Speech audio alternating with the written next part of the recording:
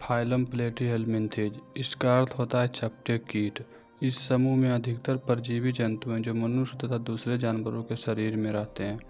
इस समूह में लगभग तेरह हज़ार जातियों को सम्मिलित किया गया है। इनका शरीर बाइलेटरल सिमेट्री होता है।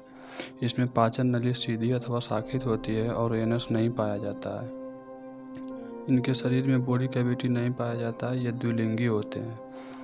Tape worm planaria, blood fluke, liver fluke, इस समूह के मुख्य जंतु हैं।